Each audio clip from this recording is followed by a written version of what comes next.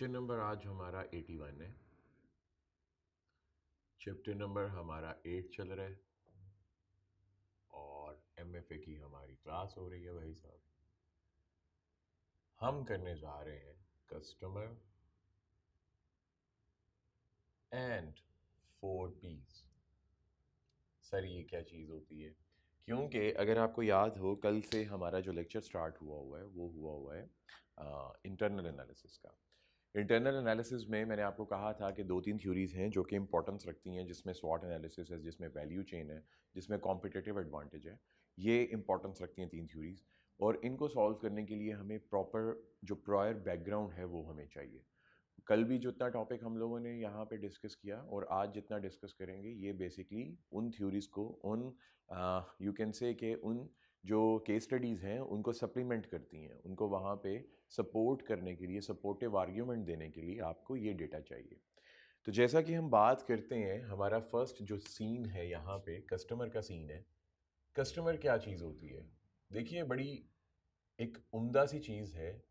वो उम्दा सी चीज़ क्या है कि मार्केट में दो लोग काम करते हैं मिलके। मार्केट में दो लोग काम करते हैं मिलके।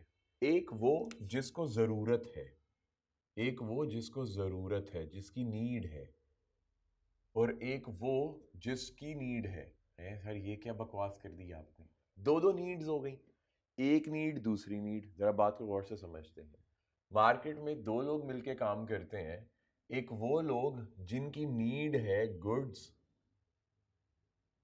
या सर्विस। ऐसा बंदा जिसने अपनी नीड को सेटिस्फाई करना है, उसको या तो गुड्स से सेटिस्फेक्शन मिलेगी या सर्विस से। मिसाल के तौर पे मुझे भूख लगी हुई है, मुझे खाना खाना है। तो मैं कौन सी नीड लेके जा रहा हूँ? मैं अपनी पर्सनल नीड लेके जा रहा हूँ मार्केट में कि भाई मुझे खाना दो। अच्छा जब मैंने खाना खाना है तो वो गुड है। जो मैंने खाना खाना है वो गुड है, और जो खाना बना के बेच रहा है वो सर्विस है। कैसी मज़े की बात हुई ना? मैं खाना खाने किसी रेस्टोरेंट चला गया, किसी दुकान पे चला गया, किसी रेडी पे चला गया, और जाके कहा भाईजान नान चने दे दो। तो जैसे ही मैंने उसे कहा, भाईजान नान चने दे दो तो क्या हुआ? उसने नान चने ऑलरेडी कुक करके रखे हुए थे। वो गुड्स हैं। और वो जो मुझे प्रोवाइड कर रहा है वहाँ पे सर्विस कुकिंग की सर्विस और सर्व करने की सर्विस वो क्या हुई? वो एक सर्विस हो गई। तो इसका मतलब क्या हुआ? एक ऐसा बंदा जिसको खाने की ज़रूरत है, वो गया अपनी ज़रूरत के साथ। और एक ऐसा बंदा जिसको पैसों की ज़रूरत है। जिसको पैसों की ज़रूरत है। वो मार्केट में goods and service goods and service goods and service manufacture करेगा मैन्युफैक्चर करेगा और पैसे कमाएगा। बिल्कुल सिंपल सी बात है। इसका मतलब क्या हुआ? इसकी अगर बात करें तो ये हम बात कर रहे हैं कस्टमर की। और इसकी अगर बात करें तो ये हम बात कर रहे हैं सप्लायर की। क्या हर इंसान सप्लायर बन सकता है? नहीं। सर, हर इंसान सप्लायर क्यों नहीं बन सकता? क्योंकि यहीं पे एक मार्केट एनालिसिस आता है। क्या आता है? यहीं पे मार्केट एनालिसिस आता है। ये मार्केट एनालिसिस क्या चीज़ है? बुक में नहीं है। सिर्फ़ मैं आपको बाय द वे बताऊँगा आपके अपने सॉलिड वर्ड्स के लिए, जिसको आप इंग्लिश में ट्रांसलेट करके लिख सकें। देखो, होता क्या है? दुनिया में जितने भी कारोबार होते हैं, वो दो तरीक़ों से चलते हैं। एक, प्रॉफिट कमाने की नीयत से और नंबर टू, लोगों की मदद करने की नीयत से। इसके अलावा कोई तीसरी नीयत है नहीं। दुनिया में जितने भी कारोबार हैं, लेकिन कारोबार होते कैसे हैं? जो सप्लायर है, जो मैन्युफैक्चरर है, या जो सर्विस प्रोवाइडर है, वो करता किन बेसिस पे आइडेंटिफिकेशन है कि मैंने क्या चीज़ बनानी है? बड़ी सिंपल सी बात है। जो सप्लायर है, जो सप्लायर है या जो मैन्युफैक्चरर है, या जो मैन्युफैक्चरर है, दोनों एक ही चीज़ है, या जो मैन्युफैक्चरर है। क्वेश्चन मार्क है, ये क्या चीज़ मैन्युफैक्चर करे? ठीक है? ये कौन सी गुड्स या सर्विस को चूज़ करें और मैन्युफैक्चर करके अपनी need to earn money to earn money fulfil करें? तो बड़ी सिंपल सी बात है, इनको मार्केट को एनालाइज करना पड़ेगा। मार्केट में एनालाइज किस चीज़ को किया जाता है? मार्केट में एनालाइज किया जाता है कस्टमर कस्टमर नहीं, मार्केट में एनालाइज किया जाता है what kind of what kind of what kind of problem what kind of problem can be faced can be faced by number of people. Number of people. मतलब क्या हुआ? Large या small number of people नहीं मैंने लिखा। Market में ऐसी कौन सी चीज़ है जो लोग महसूस करते हैं कि उनके लिए प्रॉब्लम है? जैसे कि मैं सुबह उठा, गाड़ी पंक्चर तो मैंने महसूस किया, यार, काश इस टाइम कोई पंक्चर लगाने वाला मेरे पास होता तो मैं टाइम पे कॉलेज पहुँच जाता। मैं सुबह उठा, गर्म पानी नहीं है। काश कोई इलेक्ट्रिक गीज़र होता तो मैं दो मिनट में ऑन करके पानी गर्म करके नहा के आ जाता। मैं सुबह उठा, कपड़े इस्त्री नहीं है, काश कोई ऐसी सर्विस होती कि मैं अपने हफ़्ते के कपड़े दे देता, वो मुझे उसको इस प्रेस करके, ठीक है, वो मेरे घर पे पहुँचा देते। तो ये जो काश काश है, अगर गौर से देखो तो ये काश काश हैं क्या बेसिकली काश काश इट सेल्फ प्रॉब्लम्स हैं। काश काश इट सेल्फ प्रॉब्लम्स हैं। और एक मैन्युफैक्चरर और सप्लायर की रिस्पॉन्सिबिलिटी क्या है? मैन्युफैक्चरर और सप्लायर की रिस्पॉन्सिबिलिटी क्या है? मैन्युफैक्चरर और सप्लायर्स की रिस्पॉन्सिबिलिटी है उस काश को, उस काश को मैं लिख देता हूँ यहाँ पे। उस काश को सॉल्व करना, उस काश का सोल्यूशन निकालना सोल्यूशन निकालना। मतलब क्या हुआ? मतलब लोगों को प्रॉब्लम आती हैं। आप उन प्रॉब्लम का सोल्यूशन निकालो। आप उन प्रॉब्लम का सोल्यूशन निकालो। वो सोल्यूशन क्या हो सकता है? या तो गुड्स हो सकती हैं, या तो गुड्स हो सकती हैं, या सर्विस हो सकती हैं। वो सोल्यूशन या तो गुड्स हो सकती हैं, या सर्विस हो सकती हैं। कपड़े इस्त्री नहीं थे, गीज़र नहीं था मेरे पास, इलेक्ट्रिक गीज़र बनाना। मैंने एक ऐसा सोल्यूशन निकाल दिया जो 10 मिनट में इंस्टेंटली पानी गर्म कर दे तो मैंने गुड बनाया। कपड़े इस्त्री नहीं है तो मैंने एक सर्विस निकाल दी, भाई साहब हफ़्ते के कपड़े दे दें, इस्त्री करके आपके घर से आएँगे, उठाएँगे, इस्त्री करके घर पे छोड़ के जाएँगे। और आप हमें बता दीजिए, हम उसी टाइम आया करेंगे जिस टाइम आप अवेलेबल हों, और आपको दोबारा बताने की ज़रूरत नहीं, सिर्फ़ एक दफ़ा बता दें। बार बार हम खुद आपके घर तशरीफ़ लेके आएँगे, और आपके कपड़े प्रेस करके बेहतरीन साफ़ सूफ धो के आपके घर पर छोड़ के भी जाएँगे, और आपसे हिसाब महीने बाद कर लिया करेंगे। तो मैंने सर्विस दे दी, तब मैंने सर्विस दे दी। इसका मतलब क्या हुआ? आपकी जो प्रॉब्लम थी, आपकी जो प्रॉब्लम थी, जो प्रॉब्लम थी, उसको मैंने सोल्यूशन प्रोवाइड किया। अब जब मैन्युफैक्चरर उसका सोल्यूशन प्रोवाइड करता है तो क्या वो फ्री ऑफ़ कॉस्ट होता है? नहीं, कतन नहीं। हमेशा वो उसकी फ़ी चार्ज करता है। हमेशा उसकी प्राइस चार्ज करता है। ये जो प्राइस है, जो फ़ी है, वो इतनी चार्ज करेगा कि मैन्युफैक्चरर को प्रॉफिट भी होगा। मैन्युफैक्चरर को प्रॉफिट भी होगा। ये सारा सिनेरियो क्या कहलाएगा? मार्केट एनालिसिस आपने मार्केट में जाना है, अपने कस्टमर को आइडेंटिफाई करना है और किस बेस पे करना है कि प्रॉब्लम क्या है। जो कस्टमर प्रॉब्लम फेस कर रहा है, क्या आप उसका सोल्यूशन प्रोवाइड कर सकते हो? अगर तो प्रोवाइड कर सकते हो तो आप सर्विस प्रोवाइडर बन जाओगे, या फिर आप गुड्स मैन्युफैक्चरर बन जाओगे। अगर गुड्स मैन्युफैक्चर या सर्विस प्रोवाइडर बन गए तो आप सोल्यूशन को सेल करोगे। तो आप सोल्यूशन को सेल करोगे। सोल्यूशन को सेल करके आप उनसे प्राइस चार्ज करोगे, अगर प्राइस चार्ज करोगे तो आपको प्रॉफिट होगा। और प्रॉफिट ही मोटिवेटिंग फैक्टर भी है आपका। प्रॉफिट मोटिवेटिंग फैक्टर भी है आपका। प्रॉफिट मोटिवेटिंग फैक्टर भी है आपका। किस चीज़ में मोटिवेटिंग फैक्टर है आपका? कि आपने सर्विसेज़ रेंडर की, आपने गुड्स रेंडर किए, आपने कॉस्ट ऑफ़ प्रोडक्शन जो कि कल हमने टॉपिक डिस्कस किया था, उसको यहाँ पे इन्वॉल्व किया। और फिर उसके बाद एक ऐसी प्रोडक्ट डेवलप कर ली, जो लोगों की प्रॉब्लम को सोल्यूशन में प्रोवाइड कर देती है।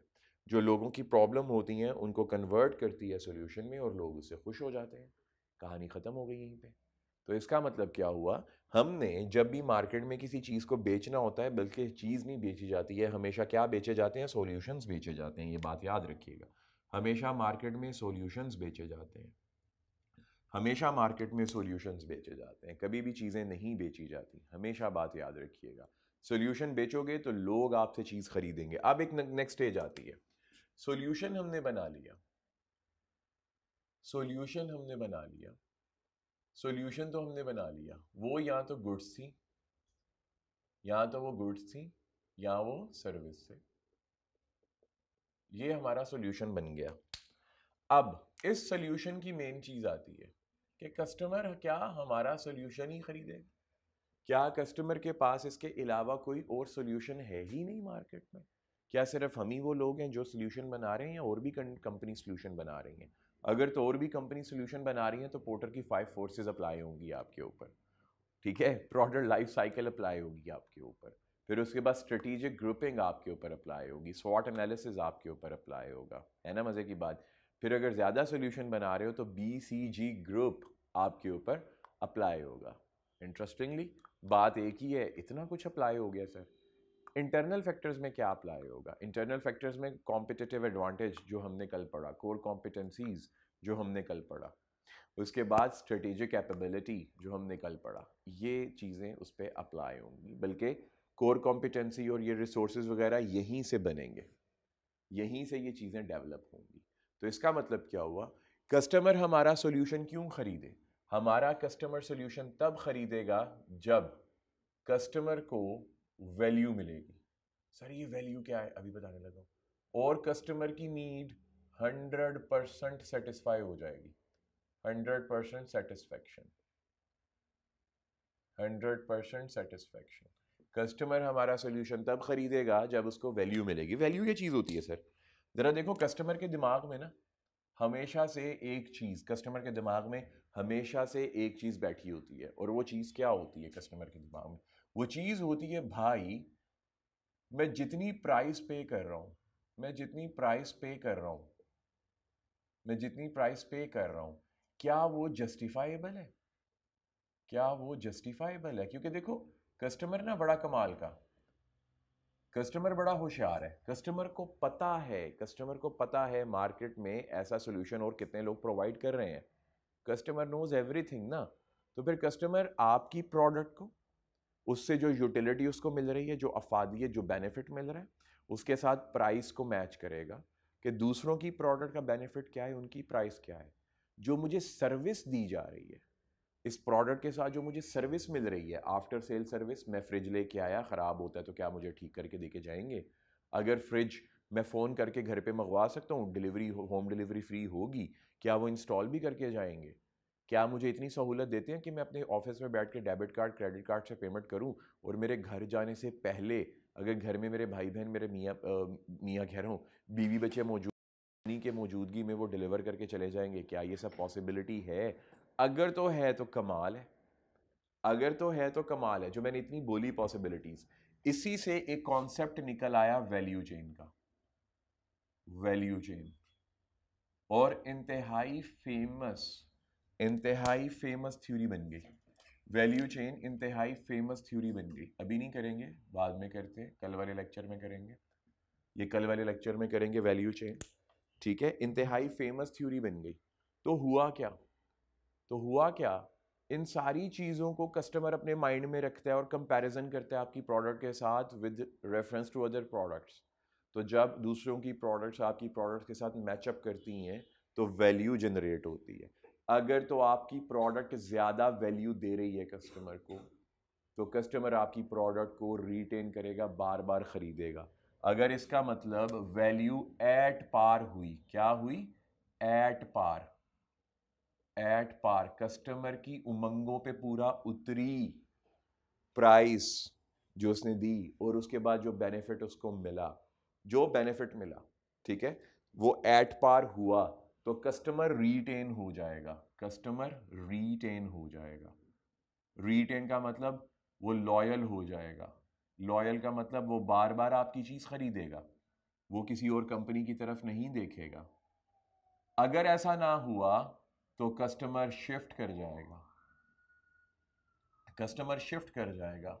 मतलब वो किसी सब्सटीट्यूट को सब्सटीट्यूट को प्रेफर करेगा। ये बात याद रखिएगा हमेशा।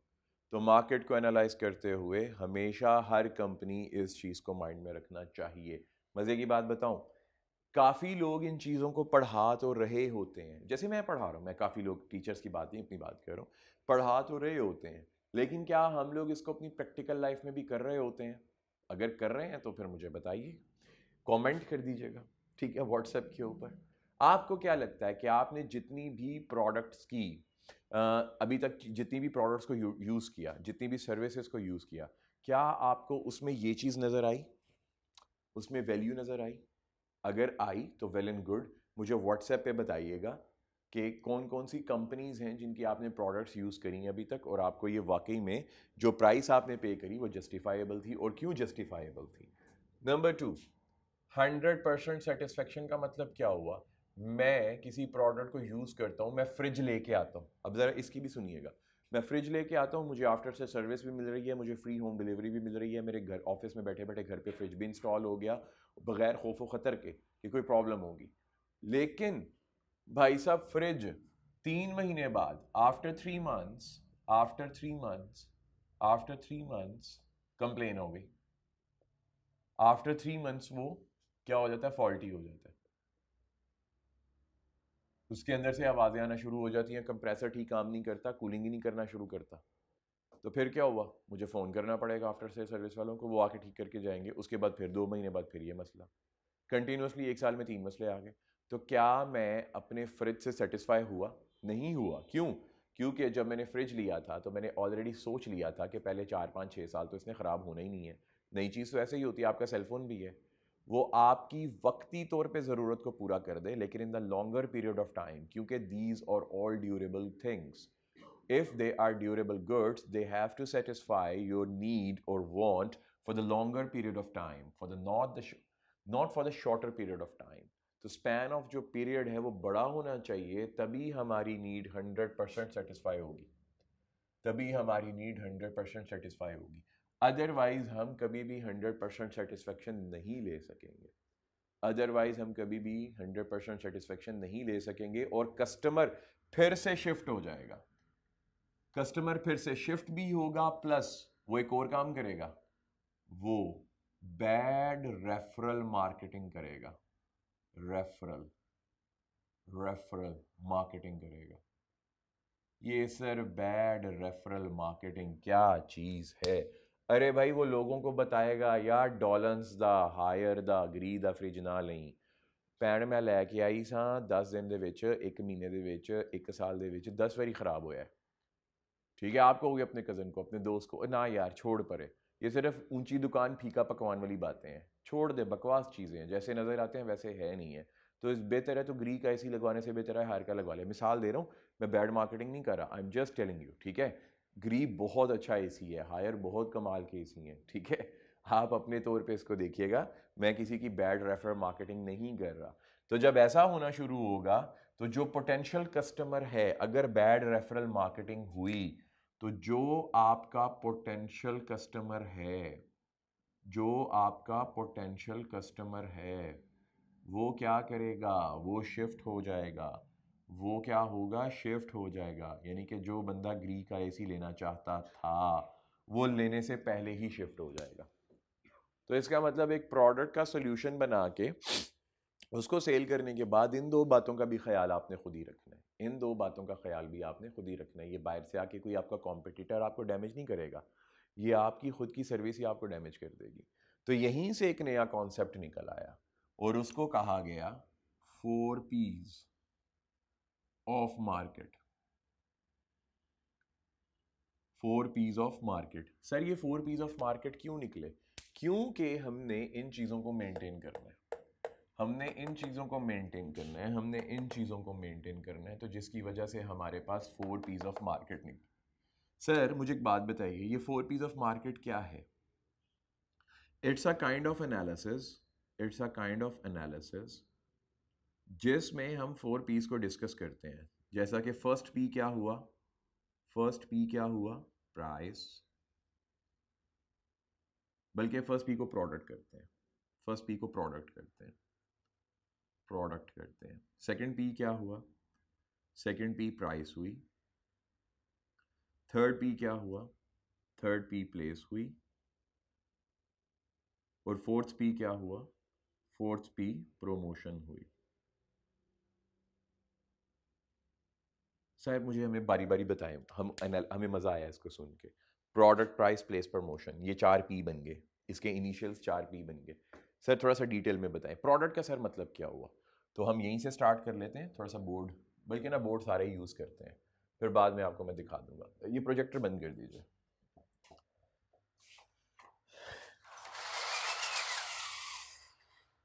चलो। तो सर, थोड़ा सा बताइएगा ये फोर पीस के बारे में। देखो यार फोर पीस एक ऐसा मार्केट मार्केट एनालिसिस है। अगर आप ठीक से करो तो बहुत कम कंपनीज़ हैं जो मार खाएँगी। अदरवाइज़ मोस्टली कंपनीज़ इस सिनारियो में सक्सेसफुल हो जाती हैं। इस सिनारियो में सक्सेसफुल हो जाती हैं। इस सिनारियो को अपने कस्टमर को लॉन्गर पीरियड ऑफ़ टाइम तक अचीव करने के लिए हमारे पास फोर पीस आते हैं। और फोर पीस में सबसे पहले सबसे पहले कस्टमर को डिलीवरी देने से पहले कस्टमर को चूज़ करने से पहले, हमने ये देखना होता है, अभी अभी पढ़ा कि भाई प्रॉब्लम क्या है, कि भाई प्रॉब्लम क्या है, कि भाई प्रॉब्लम क्या है, कि भाई प्रॉब्लम क्या है। फिर उस प्रॉब्लम का हमने सोल्यूशन बनाना है। तो प्रोडक्ट ये बताती है तो ये जो प्रोडक्ट है प्रोडक्ट है प्रोडक्ट हमें बताती है कि जो हम सोल्यूशन प्रेजेंट करने जा रहे हैं, वो टेंजिबल होगा, वो टेंजिबल गुड होगा हार्ड फॉर्म में गुड होगा, या वो इनटेंजिबल गुड होगा। जैसा कि हमने ऑलरेडी इसको डिस्कस कर लिया। इनटेंजिबल गुड का मतलब वो सर्विस होगी। ठीक है? मिसाल के तौर पे वो टेंजिबल गुड है। तो प्रोडक्ट में हमने ये भी डिसाइड करना है ड्यूरेबल गुड बनाना जो लॉन्गर पीरियड ऑफ़ टाइम तक चलता रहे। ड्यूरेबल गुड बनाना या यू कैन से कि जिसको हम कह सकते हैं फ्रेजाइल गुड जो uh, जो बड़ी जल्दी ख़राब हो जाता है उसको क्या नाम लेते हैं यार? एक तो मेरी ना मेमोरी आजकल थोड़ी सी डाउन चल रही है और चीज़ें भूल जाती हैं मुझे। या तो ड्यूरेबल गुड होगा या अब देखो मैं रोज़ ऐसे गुड्स का नाम लेता रहता हूँ और अब मुझे भूल गया। खैर पेरिशेबल वाओ याद आ गया। या पेरिशेबल गुड्स होगा। या पेरिशेबल गुड होगा। अब आप मेरे साथ रहिएगा, क्योंकि अब यहीं से हम इसको केस स्टडी को आगे लेके चलेंगे। अगर हमने सर्विस देनी है, अगर हमने सर्विस देनी है, अगर हमने सर्विस प्रोवाइड करनी है तो वो कोई स्पेशल सर्विस होगी? कोई स्पेशल टाइप की सर्विस होगी? जिसके लिए हमें लाइसेंस चाहिए? लाइसेंस चाहिए या हम कोई भी नॉर्मल सर्विस प्रोवाइड करके काम चला सकते हैं। नॉर्मल सर्विस प्रोवाइड करके काम चला सकते हैं। तो हमारी बेसिकली जो प्रोडक्ट है, वो हमें ये डिसाइड करने पे मजबूर करती है कि इनमें से कौन सी टाइप को हम मैन्युफैक्चर करने जा रहे हैं। इनमें से कौन सी टाइप को हम मैन्युफैक्चर करने जा रहे हैं।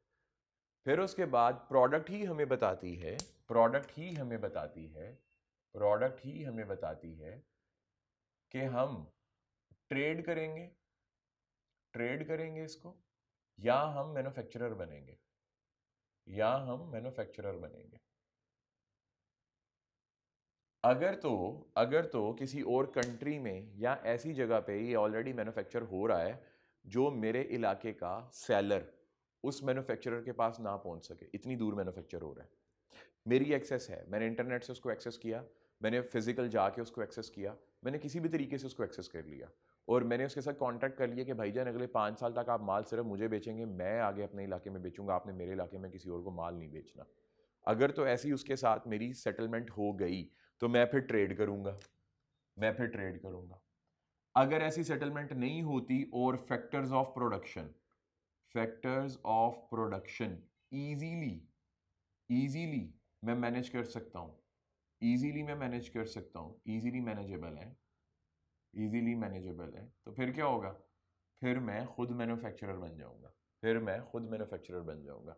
इसके लिए एक बड़ी फ़ेमस चीज़ होती है cost and cost benefit benefit analysis analysis cost benefit analysis ये क्या चीज़ होती है कॉस्ट बेनिफिट एनालिसिस आपने बचपन में पढ़ा होगा। कहाँ पढ़ा होगा बचपन में आपने? कॉस्ट अकाउंटिंग में। कॉस्ट बेनिफिट एनालिसिस आपने सीएमए में पढ़ा होगा। डेफिनेटली पढ़ा होगा। हाँ शायद इसका टॉपिक नहीं हो सकता कि सेपरेट से कोई टॉपिक हो। प्रोसेस कॉस्टिंग में मेक और बाय डिसीज़न में। वो बेसिकली यही होता है ना मेक और बाय डिसीज़न चलो, इसके साथ ना मैं मेक और बाय डिसीज़न लिख देता हूँ। Make and buy decision make and buy decision भाई साहब, ये तो पढ़ा हुआ है ना, अब आप इससे इनकार नहीं कर सकते। ये तो आपने सीएमए में पढ़ा हुआ है। ठीक है ना? ये तो सीएमए में आप लोगों ने पढ़ा हुआ है। तो इसका मतलब क्या हुआ? बेसिकली वो जो चीज़ होती है, वो इसी थ्योरी की मद से निकलता है। वो इसी थ्योरी के बैकग्राउंड से निकला हुआ है। क्लियर हुई बात? और वो किसकी सिलेक्शन कर रहे हैं हम लोग? प्रोडक्ट की सिलेक्शन कर रहे हैं। लें जी प्रोडक्ट ने हमें बता दिया हम किस टाइप का गुड बनाएँगे, जो कि हमारे कस्टमर को क्या करेगा? हमारे कस्टमर को ये सारे इंग्रेडिएंट प्रोवाइड करेगा। हमारे कस्टमर को ये वाले सारे इंग्रेडिएंट प्रोवाइड करने वाला है। दैट्स कूल फिर उसके बाद हमारे पास सेकंड पी आता है, उसका नाम है प्राइस उसका नाम क्या है? प्राइस हमने डिसाइड कर लिया हम कौन सी प्रोडक्ट बनाने जा रहे हैं. अब यहीं से प्राइस हमें बताता है प्राइस एनालिसिस हमें ये बताता है, आपने ये देखना है कि ऑलरेडी उसका कॉम्पिटिटर मार्केट में अवेलेबल है. कॉम्पिटिटर अवेलेबल है या आपकी यूनिक प्रोडक्ट है.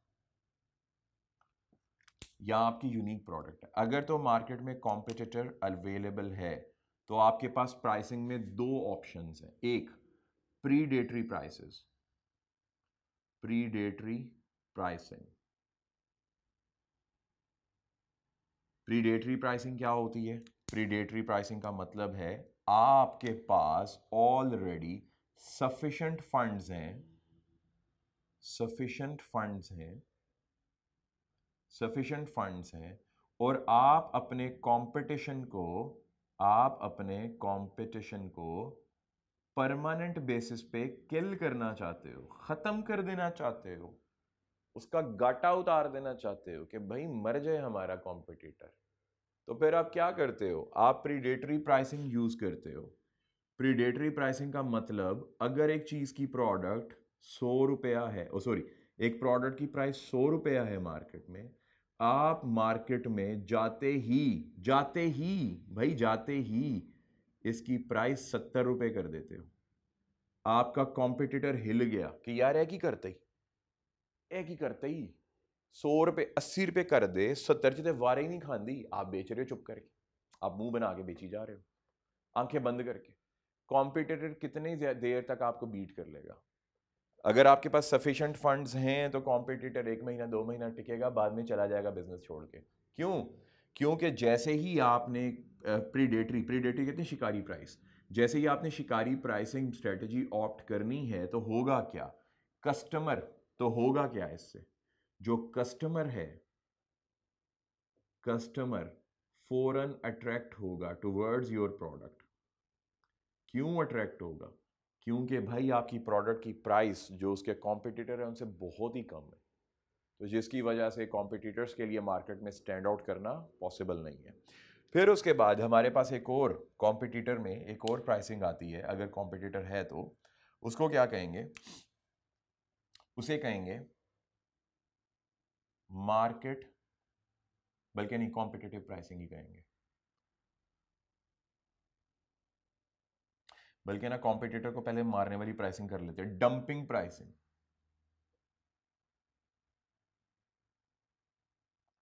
dumping pricing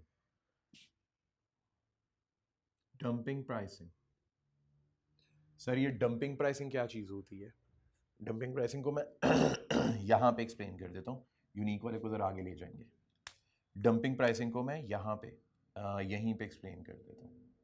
डंपिंग प्राइसिंग क्या चीज़ होती है? डंपिंग प्राइसिंग बात याद रखिएगा, जब आपने मार्केट में मोनोपली क्रिएट करनी हो मोनोपली क्रिएट करनी हो, आपने सभी कॉम्पिटिटर्स को वाइप आउट कर देना हो तो आप कॉस्ट ऑफ़ प्रोडक्शन से कम प्राइस रखते हो। कॉस्ट ऑफ़ प्रोडक्शन से भी कम प्राइस रखते हो। मिसाल के तौर पे, एक प्रोडक्ट है, उसकी कॉस्ट ऑफ़ प्रोडक्शन है, उसको प्रोड्यूस करने की कॉस्ट है बीस रुपये और वो मार्केट में किस प्राइस पे बिक रही है, मिसाल के तौर पे वो प्राइस पे बिक रही है पच्चीस रुपये आप मार्केट में इसको बेचते ही सत्रह रुपये पे हो।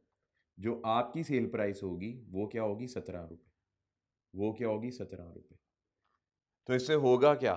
क्योंकि आपको भी पता है, जो आपके कॉम्पिटिटर हैं या आप हैं, आपकी कॉस्ट ऑफ़ प्रोडक्शन बीस रुपये है। आप फिर भी तीन रुपये नीचे करके बेच रहे हो हैवी लॉसेस बुक करते जा रहे हो। तो इससे होगा क्या? जो आपका कॉम्पिटिटर है, एक तो वो बहुत ज़्यादा नाराज़ होगा। और फ़ौरन ही, इसमें तो फिर ज़रा टाइम ले लेगा ना। प्रीडेटरी प्राइसिंग में टाइम ले लेगा, लेकिन डंपिंग प्राइसिंग में फ़ौरन मार्केट से भाग जाएगा। क्योंकि उसके पास वहाँ पे खड़े होने का टाइम ही नहीं है। क्यों टाइम नहीं है? क्योंकि आप इतने हैवी लॉसेस बर्दाश्त कर सकते हैं, क्योंकि आपने मोनोपली क्रिएट करनी है। आपने मोनोपली क्रिएट करनी है। और आपने कौन सी स्ट्रेटजीज के लिए ऑप्ट करनी होती है डंपिंग प्राइसेस में? डंपिंग जब प्राइसिंग हो तो इसमें loss leading strategy loss leading strategy opt करते हैं। लॉस लीडिंग स्ट्रेटजी ऑप्ट करते हैं। कि भाई साहब, हम काफ़ी अरसे तक लॉस बुक कर सकते हैं, कोई प्रॉब्लम ही नहीं है।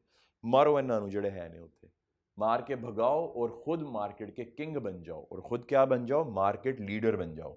क्या बन जाओ भाई साहब? इस सारे काम के बाद क्या बन जाओ? मार्केट लीडर मार्केट लीडर बन जाओ। फिर उसके बाद, अगर आपकी प्रोडक्ट यूनिक है, अगर आपकी प्रोडक्ट यूनिक है, अगर आपकी प्रोडक्ट यूनिक है तो फिर आप क्या करते हैं? अगर आपकी प्रोडक्ट यूनिक है, आपके पास दो ऑप्शंस होती हैं। Number one price skimming price skimming मतलब प्राइस स्किम क्या कहती है? अगर यूनिक प्रोडक्ट है यूनिक प्रोडक्ट है तो हाई प्राइस चार्ज करो तो हाई प्राइस चार्ज करो। अच्छा प्रोडक्ट यूनिक होगी तो लोग हाई प्राइस पे करेंगे, नहीं, इसके साथ हमें प्रोमोशनल एक्टिविटी जोड़ना पड़ेगी। इसके साथ हमें प्रमोशनल एक्टिविटी जोड़ना पड़ेगी। करवाता हूँ, वो कैसे जोड़ेंगे? यूनिक प्राइस स्कीमिंग का मतलब क्या? अगर प्रोडक्ट यूनिक तो हाई प्राइस चार्ज करो। अगर प्रोडक्ट नॉर्मल है तो मार्केट कॉम्पिटिटिव प्राइस चार्ज करो।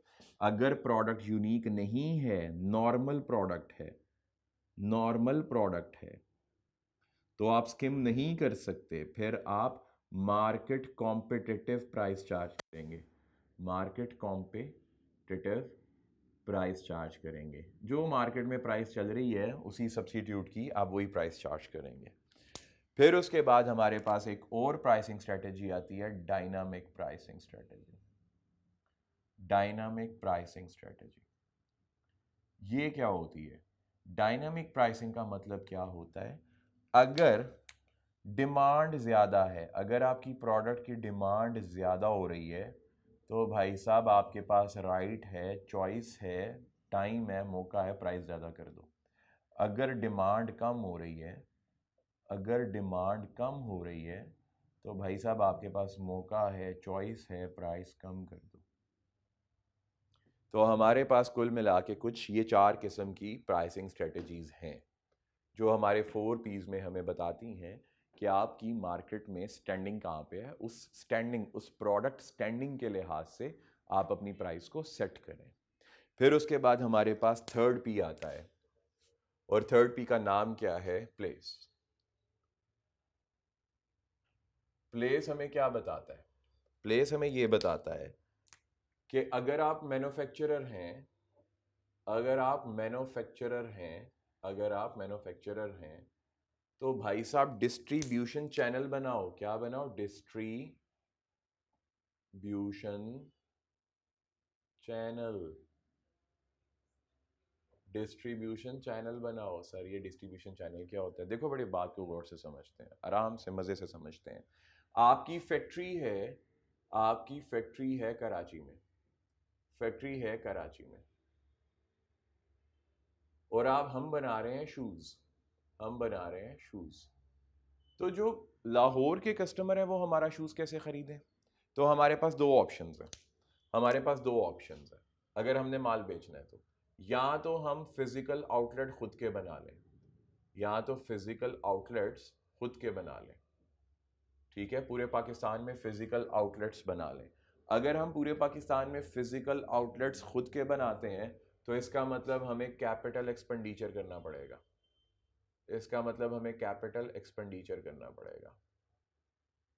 अगर हम कैपिटल एक्सपेंडिचर कर रहे हैं, ये तभी सूटेबल है अगर हम वेल रिकग्नाइज्ड ब्रांड हैं। अगर हम ब्रांड हैं या ब्रांड बनने जा रहे हैं, हमारी स्ट्रेटजी है कि हमने अपनी प्रोडक्ट को ब्रांड में कन्वर्ट करना है, तब हमें ये ज़रूरत है। आप इसको कैप्चर कर रहे हैं? भाई साहब कैप्चर हो रहा है ना ये? ठीक है। तो हमने इसको ब्रांड में कन्वर्ट करना है तो फिर कैपिटल एक्सपेंडिचर करना पड़ेगा फ़िज़िकल आउटलेट बनाने पड़ेंगे। अगर ऐसा नहीं है, अगर ऐसा नहीं है तो हम क्या करते हैं? हम डिस्ट्रीब्यूशन प्रोवाइड करते हैं। हम डिस्ट्रीब्यूशन प्रोवाइड करते हैं। डिस्ट्रीब्यूशन प्रोवाइड करते हैं। वो क्या होती है? हम जितने भी ऑलरेडी लाहौर में, कराची में, इस्लामाबाद में, पेशावर में, सियालकोट में, सिंध में, किसी भी इलाके में जो ऑलरेडी शॉप्स हैं, जो ऑलरेडी शूज़ सेलर हैं, जो ऑलरेडी शूज़ सेलर हैं, हम उनकी दुकानों में जाके शू रैक्स बना लेते हैं। शू रैक्स लगा लेते हैं। शू रैक्स लगा लेते हैं। सर शू रैक्स क्या होते हैं? उन्हें कहते हैं, भाई, आपकी दुकान है इसमें ऑलरेडी दस पंद्रह टाइप के शूज़ हैं, एक टाइप का शूज़ हमारा भी रख लें। अगर शूज़ की प्राइस है, अगर शूज़ की रिटेल प्राइस है, अगर शूज़ की रिटेल प्राइस है दो हज़ार रुपया, आप दो हज़ार में शूज़ को बेचिएगा। कंपनी को, जो आपने कंपनी को पैसे वापस करने हैं, यानी कि जो हमें पैसे वापस करने हैं, वो आप कीजिएगा सत्रह सौ रुपया। और इसका मतलब रिटेल का प्रॉफिट रिटेलर्स का प्रॉफिट कितना हुआ? तो जो रिटेलर है, उसका प्रॉफिट कितना होगा? तो भाई जो रिटेलर है, उसका प्रॉफिट होगा तीन सौ रुपया। तो हम ये वाली डील डिस्ट्रीब्यूशन प्रोवाइड करके कर सकते हैं। बेसिकली प्लेस हमें बताता है, आपने ऐसी जगह को चूज़ करना है। ऐसी जगह को चूज़ करना है इन दोनों की मदद से। ऐसी जगह को चूज़ करना है जो आपके कस्टमर जो आपके कस्टमर के वॉकिंग डिस्टेंस पर हो। वॉकिंग डिस्टेंस पर हो। अगर तो आपने फ़िज़िकल मार्केट करनी है तो आपके कस्टमर की वॉकिंग डिस्टेंस पे होना चाहिए। कस्टमर आसानी से उस जगह पे पहुँच सके। इजीली अप्रोचेबल होना चाहिए। इजीली अप्रोचेबल वो जगह, वो दुकान इजीली अप्रोचेबल होनी चाहिए। इजीली अप्रोचेबल होनी चाहिए। अदरवाइज़ क्या होगा? अदरवाइज़ क्या होगा? आपका कस्टमर आप तक पहुँच नहीं सकेगा। उल्टा आपकी सेल होने के बजाय स्टक हो जाएगा। आपका माल, आपकी स्ट्रेटजी अच्छी थी, आपकी प्राइसिंग स्ट्रेटजी अच्छी थी, आपकी प्रोडक्ट स्ट्रेटजी अच्छी थी, आपने हर चीज़ को ठीक से आइडेंटिफाई करके मार्केट में लॉन्च किया। लेकिन हुआ क्या? लेकिन हुआ यहाँ पे फेल कर गए। प्लेस नहीं ठीक चूज़ की। अगर प्लेस ठीक से चूज़ नहीं की तो क्या होगा? आपकी सेल हो नहीं पाएगी कन्वर्जन हो नहीं पाएगी। कन्वर्जन का मतलब फ़िज़िकल गुड्स को बेच के या सर्विसेज़ को बेच के पैसे कमाना, उसे कन्वर्जन कहते हैं, वो हो नहीं पाएगी। अगर आप ऑनलाइन हैं, अगर आप ऑनलाइन हैं तो फिर भी आपने डिसाइड करना है आपकी प्लेस कौन सी है। क्या आपने अमेजोन अमेजोन दराज, ज़रा बात को सुन लीजिएगा। मैं इनको प्रमोट नहीं कर रहा हूँ। अली एक्सप्रेस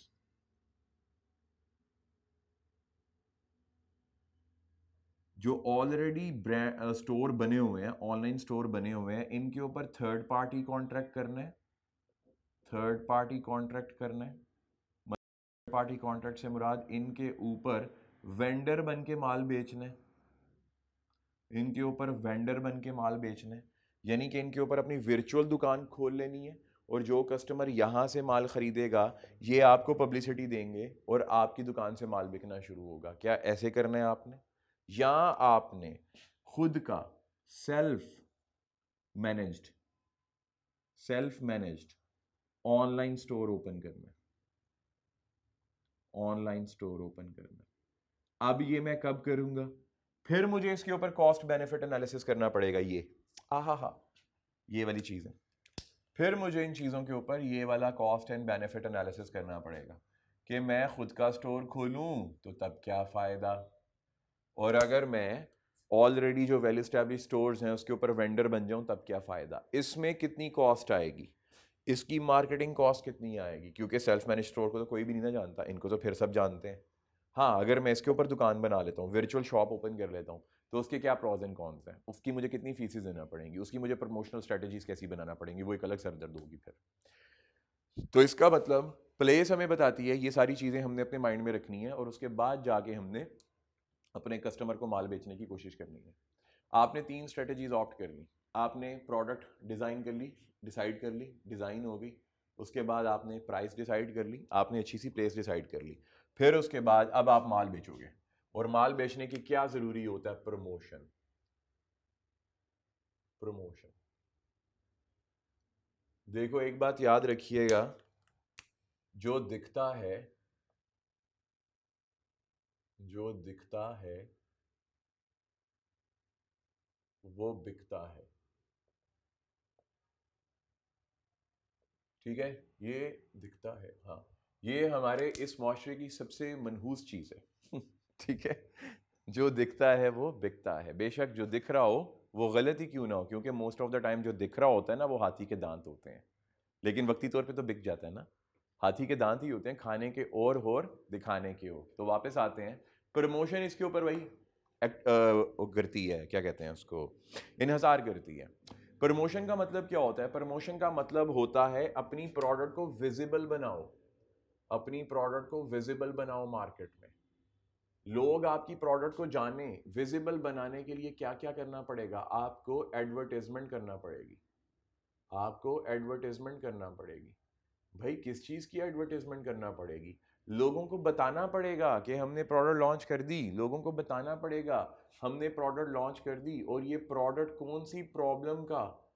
ये प्रोडक्ट कौन सी प्रॉब्लम का सोल्यूशन है? वाओ ये प्रोडक्ट कौन सी प्रॉब्लम का सोल्यूशन है? अगर हमारी प्रोडक्ट आपकी प्रॉब्लम का सोल्यूशन है, अगर हमारी प्रोडक्ट आपकी प्रॉब्लम का सोल्यूशन है तो इसमें कितनी तरह की, कितनी तरह की यूटिलिटी पाई जाती है? कितनी तरह की खूबियाँ हैं? कितनी तरह की अफादियत है? अफादियात हैं। ये ठीक है। हमारी प्रोडक्ट में कितनी तरह की अफादियात है? प्रमोशन में बताया जाएगा कि प्राइस क्या है। प्रमोशन में बताया जाएगा कि भाई, आपको बॉग ऑफ़ मिल रहा है कि नहीं? इसको बॉग ऑफ़ कहते हैं। वैसे बचपन से सुना हुआ है आपने, क्या होता है BOGOF? Buy one buy one, get one, free. Promotion में बताया जाएगा, भाईजान, sale sale sale sale sale sale. बाजी हंड्रेड परसेंट ऑफ़ नहीं है, साठ परसेंट ऑफ़ है। समर सेल लग गई है, हमारी दुकान का दरवाज़ा तोड़ के अंदर आ जाए। आपने देखा होगा ना ऐसे कि ब्लैक फ्राइडे लगता है। बेसिकली वो सब प्रमोशनल एक्टिविटीज़ होती हैं। प्रमोशन हमें बताएगा कि भाई साहब, हमने इसकी मार्केटिंग कैंपेन कैसे चलानी है? मार्केटिंग कैंपेन कैसे चलानी है? इतना मेजर कॉन्सेप्ट है ये। C O M P A I C O M P A I G A marketing campaign कैसे चलानी है? प्रमोशन हमें बताएगा हमने अपनी प्रोडक्ट को पैकेजिंग कैसे करनी है?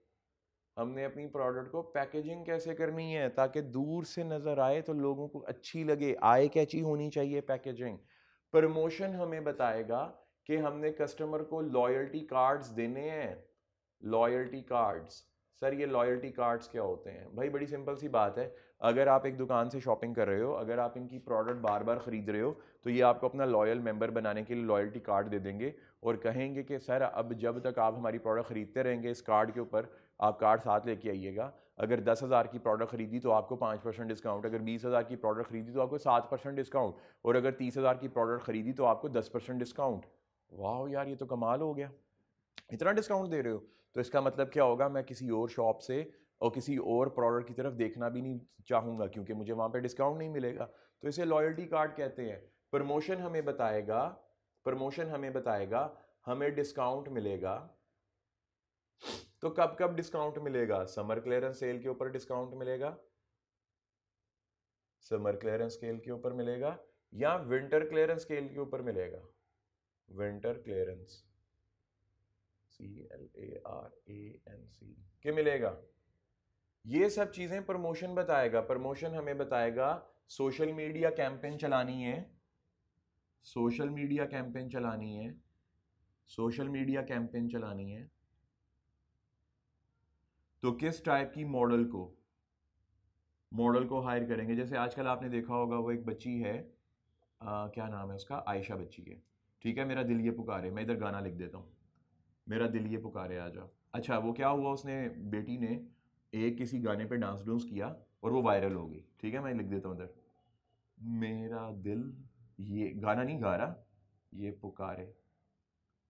आ जा अब हुआ क्या? कई ब्रांड ने इसको अप्रोच किया कि भाई, अपने इंस्टा के ऊपर हमारी स्टोरी लगाइए।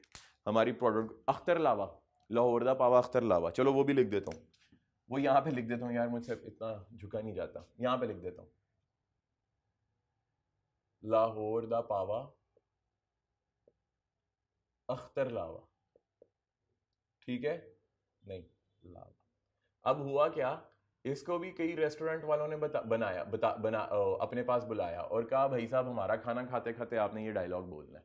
तो इनको फ्री में क्या फ्री में नहीं अच्छे खासे पैसे चार्ज किए इन दोनों ने इस बच्ची ने और उस लाहौर के पावे ने। तो हुआ क्या भाई साहब ये प्रमोशनल एक्टिविटीज़ का हिस्सा बन गए। इसी तरह कई टिकटॉकर्स भी ऐसे करते हैं कि वो टिकटॉक बना रहे होते हैं लेकिन उन्होंने कंपनी की पर्टिकुलर प्रोडक्ट अपने हाथ में पकड़ी होती है। तो इसका मतलब क्या हुआ ये सारी चीज़ें मिलके जो अभी हमने एनालिसिस किया मार्केट का यहाँ से लेकर इस एरिया से लेकर उस एरिया तक। ये सभी इंग्रेडिएंट मिलके आपकी प्रोडक्ट को फ़ेमस आपकी प्रोडक्ट को सक्सेसफुल और आपकी कंपनी को प्रोग्रेसिव बनाने में मदद देते हैं। और इसे हम major market sorry minor market analysis कहते हैं। मेजर तो बहुत बड़ी चीज़ होती है। जैसे चैप्टर सेवन और एट को सम अप कर लो तो वो मेजर मार्केट एनालिसिस है। तो यहीं पे अगर आपको याद हो तो हम पास पेपर कर रहे थे और पास पेपर में जब हम, जब हमने पोर्टर्स की फाइव फोर्सेस की थी और उसमें हमने एक प्रमोशनल नहीं पोर्टर की फाइव फोर्सेस नहीं प्रोडक्ट लाइफ साइकिल किया था तो उसमें हमने प्रमोशनल प्रमोशनल एक्टिविटीज़ थी। एक्टिविटीज़ प्रमोशनल एक्टिविटीज़ थी, चार नंबर का क्वेश्चन था कि अगर कोई product product A product A introductory phase पे है इंट्रोडक्टरी फ़ेज़ पे है तो उसकी क्या प्रमोशनल स्ट्रेटेजी होनी चाहिए? प्रोडक्ट बी ग्रोथ स्टेज पे है। ग्रोथ स्टेज पे है। तो उसकी क्या प्रमोशनल स्ट्रेटेजी होनी चाहिए? प्रोडक्ट सी मेचोरिटी स्टेज पे है। तो उसकी क्या प्रमोशनल स्ट्रेटेजी होनी चाहिए? और प्रोडक्ट डी डिक्लाइनिंग फ़ेज़ में है। डिक्लाइनिंग फ़ेज़ में है। तो उसकी क्या प्रमोशनल स्ट्रेटेजी होनी चाहिए? अब काइंडली क्या आप इन सारी चीज़ों को जो यहाँ से यहाँ तक मैंने लिखवा दी, जो यहाँ से बल्कि ये लाहौर के पावे तक मैंने लिखवा दी, चलो ये कर लेते हैं। क्या आप मुझे प्रोडक्ट लाइफ साइकिल का एनालिसिस करते हुए, इन सभी चीज़ों को माइंड में रखते हुए, इन सभी चीज़ों को माइंड में रखते हुए, क्या मुझे आप प्रमोशनल स्ट्रेटेजी फोर बाग के लिए बना के दे सकते हैं? कि अगर इंट्रोडक्टरी फ़ेज़ होगी तो हमने क्या करना है? इंट्रोडक्टरी फ़ेज़ है तो क्या, अगर ग्रोथ स्टेज है तो इनमें से कौन से इंग्रेडिएंट लगाए हम यहाँ पे? आपने इंग्रेडिएंट यहीं से पिक करना है सिर्फ़? और कुछ नहीं करना आपने। इंग्रेडिएंट सारे मैंने लिख दिए, सिर्फ़ दिमाग इस्तेमाल करो। ये पूरे का पूरा लेक्चर में मैंने आपको समझा दिया दिमाग इस्तेमाल, कहाँ कहाँ पे कैसे करना है। तो भाई आपको पता है ग्रोथ स्टेज में प्राइस क्या होती है मेचोरिटी स्टेज में प्राइस क्या होती है। रिसर्च एंड डेवलपमेंट कितना होता है कंपनी का रेवेन्यू कितना होता है कंपटीशन कितना सवेयर होता है। आपको इन सभी स्टेजेस में पता है। किसमें क्या कंपटीशन की रेशो है किसमें क्या सेल्स रेवेन्यू की रेशो है। और देखो, हमें प्राइसिंग स्ट्रेटजीज का भी पता है। हमें प्राइसिंग स्ट्रेटजीज का भी पता है। यहाँ पे जब आए डंपिंग प्राइसेस पे आए, या डायनामिक प्राइसिंग में आए, या हम प्राइस स्कीम में आए तो इसमें भी क्लियर पता है प्रमोशन इसको कैसे बैक करेगी। प्रमोशन इसको कैसे सप्लीमेंट करेगी। तो इन सबको माइंड में रखते हुए काइंडली आपके होमवर्क के तौर पे आपने इन चार प्रोडक्ट्स में प्रोडक्ट स्टेजेस में ए बी सी डी जिसमें इंट्रोडक्टरी ग्रोथ मेचोरिटी और डिक्लाइन फ़ेज़ आ रहे हैं प्रमोशनल एक्टिविटी लिख के मुझे व्हाट्सएप कर देंगे। और उम्मीद करता हूँ आज का टॉपिक आपको समझ में आया होगा। अपनी दुआओं में मुझे याद रखिए। मिलते हैं आपसे अगले लेक्चर में। इजाज़त दीजिए। अल्लाह हाफिज़।